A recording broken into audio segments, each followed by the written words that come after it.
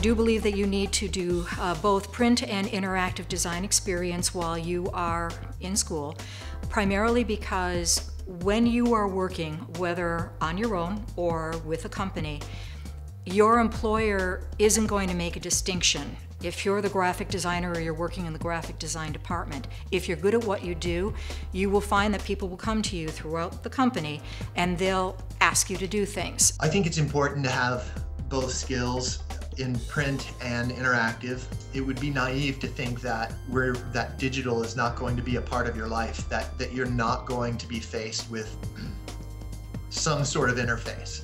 I do feel it's important to have both print and interactive design experience. Um, oftentimes, you will work with other people uh, or collaborate on a project that includes both if you're not responsible for both. So it's important for you to understand what the responsibilities are, not only of the designers, but um, also the requirements of the work and whether or not that you'll be able to produce that on your own or require assistance. I think exposure to both is good, but I know that I made a conscious decision to uh, pursue only the interactive side of things. I, I think choosing a path can really help you to become an expert in a single area to really to really excel. It's hard to be a jack of all trades and be great at all things. It's much easier to to excel in one area if if you're more focused. When we started Metropolis 18 years ago, I would have said print would be the stronger thing. Now I would go exactly the opposite.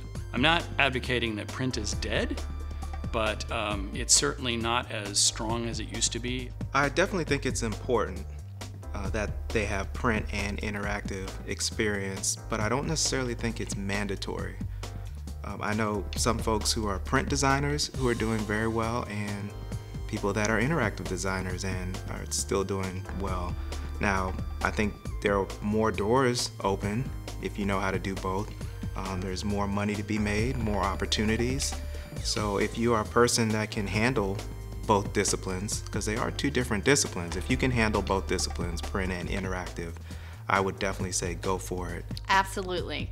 Um, our field has definitely changed these in these days. You know, when I was in school, you sort of print designer was all there was. Of course, now you can move on to be a coder, a developer. You know, there's so many different possibilities. I think having a good knowledge of how to design for print, how to design for web is a must.